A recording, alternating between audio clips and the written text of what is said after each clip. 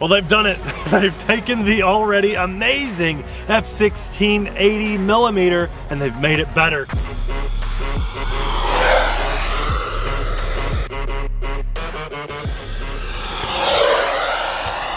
Oh, it just sounds so good.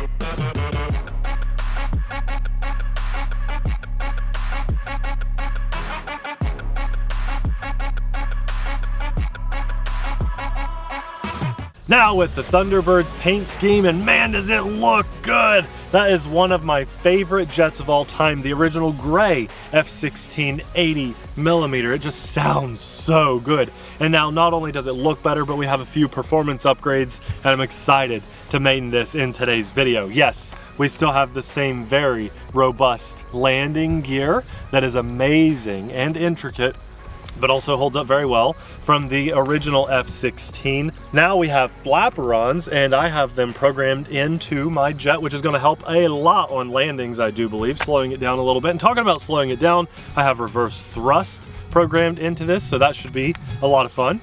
And while you guys are drooling over this beautiful jet, EDF, you'll maybe notice the keen eye, the very keen eye, may have noticed the attention to detail. Not only does it just look absolutely amazing. But that white is not just foam, that is painted white.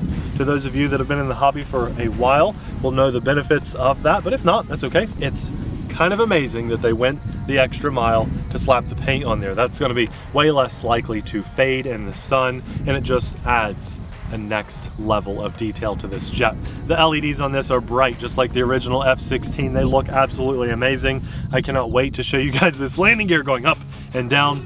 Uh, but more importantly, I just want to put this thing in the air and have some fun. Today we're going to be flying on a 6S 4000 milliamp battery. So let's see how that does. Put this in the air and have some fun.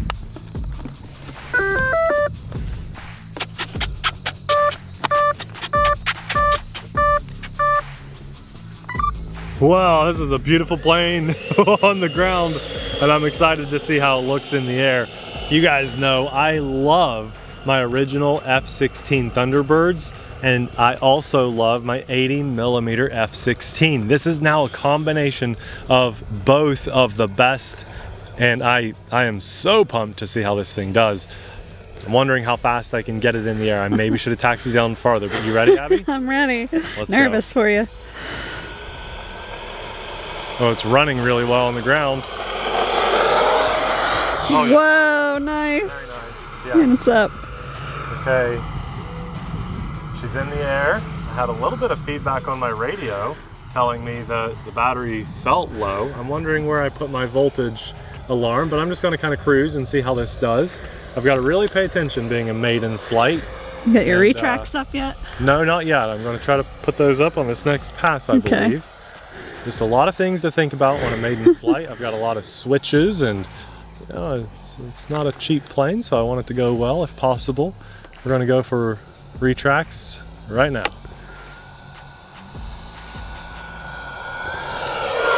Just down to the doors.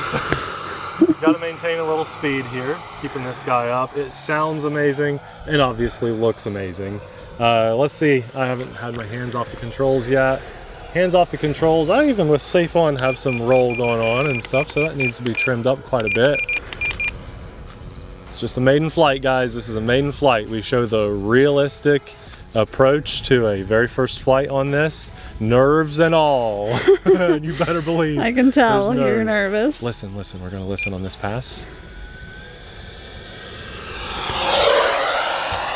Oh, it just sounds so good. Uh, there is not much wind at all today. You may notice a little bit of extra movement on the jet. I'm not really sure. Uh, just seems a little extra sensitive. And again, I still have some some roll going on with my ailerons there. So I want to trim that up quite a bit. Try to get this thing to fly really nice for you. I'd love to turn safe off on this flight. Um, but it's always better to be, and ironically, safe than sorry. They named it really well. so here's a low throttle pass. Feels like, oh, you know what? I think uh, I think one thing that I would benefit greatly from on this jet is Expo. That's why I'm thinking it looks a little on the sensitive side. I've been flying with Expo with a lot of things that I fly. I'm gonna turn safe off now. Okay, looks good, feels good. No, uh, no weird jerky tendencies. That's always a good sign. This means we should be able to throw a roll at you guys here in just a second. Actually, it feels even better with safe off in my opinion. It looks better. Rolling. Oh, this is nice. That is very nice. Wow, okay, so let's give it another roll out here. I am getting some low battery feedback on the radio, so we're just gonna play around for just a second here. I don't want to push my battery too low, but it could just be that I have too low of a discharge rating, and obviously it's not going to like that. So um, telemetry's telling me it's a little bit low. We're going to do one snap, Abby. You ready? Yeah. We'll probably bring it in for a landing. Here's full throttle. Bringing it up for a snap. Snapping it. Ah!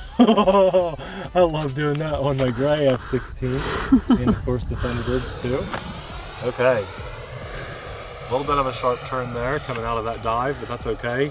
Oh my goodness, I, I could fly this. I could fly this for 20 minutes easily. We're gonna go in for a nice roll again out here. Very pretty. Oh, okay, let's drop that landing gear. I'm actually gonna kick safe on just to help me kind of on this first uh, landing. Use a little rudder in that turn. You guys can tell I'm bringing it way down. You're really far out. Yeah, and I want to, I'm not gonna mess with the flaperons on this. I want to try one one thing that I've not done on my large F-16, or very many things actually for that matter. So let's You gonna check your landing gear? uh, they're down, but I'm coming in, oh my coming goodness. in hot, right? Let's just say I'm coming in hot and, oh, okay, Oh. and then reverse thrust. That was terrifying. Reverse thrust. Yeah. So cool. Now I should be able to kick that back around. I, I think I threw some goose feathers out of there. Did you see definitely that? did. Ooh, okay. What a maiden. For whatever reason, Safe felt a little bit on the sensitive side. I don't know. That's just how it felt. I probably need a little expo in there. Safe felt like it needed a little bit of trim. I don't know why. But when I turned Safe off, it was flying silky smooth. And uh, maybe it's just because I'm used to flying my gray F-16 and definitely my, uh, I think it's a 70 millimeter F-16 Thunderbirds without Safe. I never fly that with Safe on. So um, it flies great without Safe. What a great main, Awesome. So my battery's at 3.75, 3.77 volts per cell. And I always forget, you know, I, I, I spoil myself going flying uh, things that can get a 15 minute flight time. Uh, when this poor guy, because my big gray one only gets like a three and a half minute flight time, and it just never feels like enough. And I basically pushed that to what, like four and a half minutes, Abby? yeah, Something you like push that. it. Well, if you remember my maiden of the gray F-16, it didn't end well, and I wanted this to end a little better, so there you go. I was Uh, surprised you landed without passing to check all your landing gear. Well, I, uh, yeah, maybe should have, but I was really focused on, because it's one extra step, right? So here's the interesting thing. To be able to bring this in with flaperons on, uh, so it's a lot, a lot to think about when you're landing. You drop your landing gear. You have to think about the approach. Kick on the flaperons, which I did not do at all during this flight. And then when you touch down and you're focused on, you know, making sure it's holding straight, throw that switch, throw throttle back up, which is like not what you want to do. You're trying to land and stop, so you normally don't do throttle. And then you hit the brakes, so to speak, which is that reverse thrust. And hey, it worked really well, goose feathers and all. That was fun. That was really fun. Just there's just like a lot to think about. So kudos to the guys out there that just it just comes naturally, and hopefully someday I'll be there too. Uh, but that was a lot to think about on a landing, and I, I just didn't want to throw the wrong switch. You know, throw safe instead of landing gear, throw landing gear instead of the reverse thrust, throw reverse thrust while you're coming in. and You think it's flaperons? No, no, no. You think you're putting up your landing gear and you put reverse thrust? that would be terrible. Landing gear should be going up, but the plane goes down. oh, that would be awful. Oh my god. So I'm going to call that a successful maiden just because you guys didn't know about the eight extra switches I was thinking about in my brain up here. So hey, that was a lot of fun. Uh, know that this is, actually it's on pre-order I believe. This just came out. If you're watching this video early release, you can pre-order it through our link in the description box below. And yes, that does help to support our channel and our family. Uh, you guys are amazing supporting us. This is an amazing jet. It's not necessarily the best first EDF for everyone out there. If you're interested in a trainer or something, let us know in the comments. I'll do my best to reach out to you and let you know a great ready to fly trainer for under $250. I mean, they exist all day long. Really good stuff that can help you step up to something like this. Definitely didn't happen for me overnight, uh, but man, this is fun. I can't wait to put it back in the air. Hopefully share another flight on the channel with you guys. And uh, hmm, yeah, I'm Abby, when we get home, I'm putting my leaf blower for sale on Marketplace and I'm just gonna step outside with this from now on. Oh boy. we'll take care of it and People know. don't talk about us now. They'll talk about us when you do that. Yeah. I just love the landing gear on this thing too. What an awesome, awesome addition to the fleet. I know a lot of you guys are drooling and rightfully so. Uh, well, as much fun as this is and as beautiful as today turned out to be, there's only one that I can say thanks for everything, all of the above, God. I am very grateful and uh, just can't believe we get to do this and share these experiences with you guys.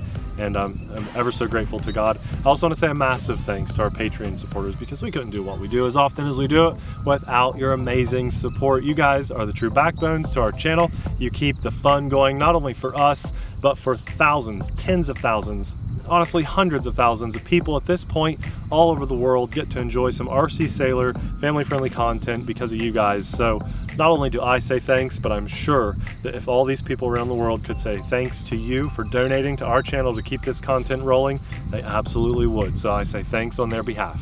Now, I've had a blast with my gray F-16. I've had a blast with my smaller, but still amazingly fun F-16 Thunderbirds. Again, I think that's a 70 millimeter, my 60, I can't remember. But it is a blast. It's a little cheaper than this. And the last time I flew it on the channel, I did some high alpha Harrier flying. Now, I don't know if I can do that with this one.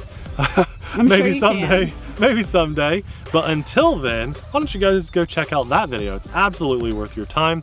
Uh, very proud moment of mine and a lot of fun. So that video will be popping up right about now. Thanks for watching. We'll see you there.